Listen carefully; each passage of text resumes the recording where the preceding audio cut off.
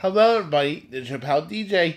This is block 225. I'm, I can't believe I've done that many. I really, really can't believe I've done 225 blocks. I, I just can't believe it. I really, it, it amazes me how fast the time goes. You know, when I did my 100 blog, it was like, oh my god, I done 100 of them. Now I'm past 200. But today I want to talk about, you know, different types of friendship. You know, and, and I love talking about friendships. I really did.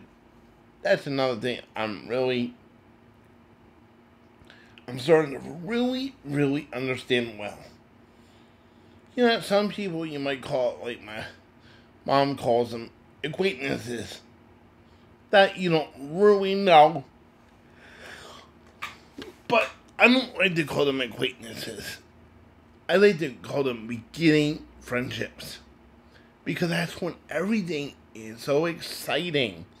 That's when you get to know about the person, what they like and what they don't, and you know what what they're interested in, and if they like games, do they like movies, do they like food, do they like all kinds of stuff. I like to call it the discovery zone.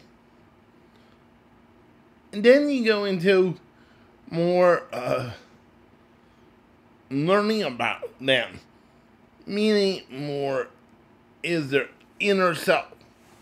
What they really believe is value to them and what what really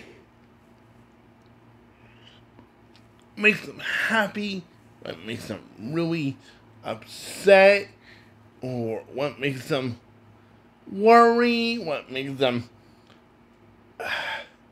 all that kind of stuff. Then you go into the friendship zone. Like, um, like my friend Kelly, for example. I've known her a very long time. She's in my inner circle. That's where all my closest friends are.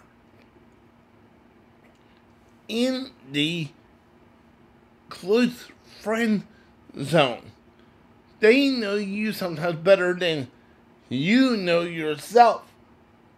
And it's kind of scary because they know something's going to aggravate you before you do.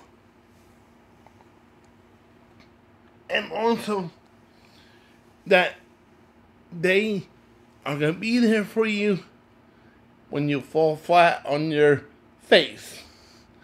Or, as my other friends like to say, put egg on your face.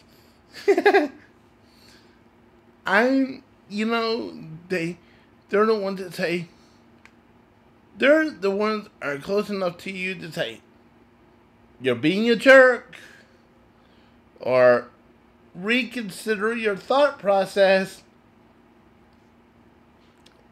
or they say, you know, think again. You know the people that slap you on the head go, doing?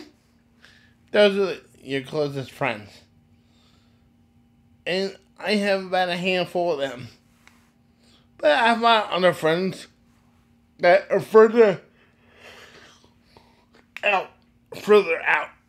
You know, they don't know me as well as those friends, but they still know me pretty well. And they still kind of once in a while reach over into the other friend zone and smack you on top of your head go, Wake up!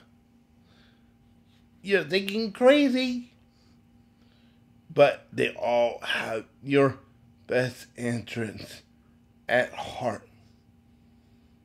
Your good friends use the heart, the heart they have to guide them instead of their brain.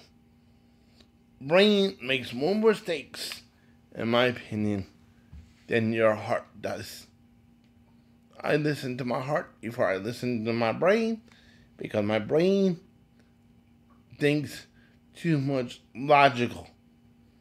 My heart thinks by another means that is more accurate, in my opinion, than reasoning. I don't know what to call it. I'll find the word and I will tell you next time. But think with your heart and your brain, and you'll be a very balanced person. Sometimes the hard part with that, the heart and mind don't match. Then what I do, me personally, I listen to the heart more than the brain. So that's how I am the way I am.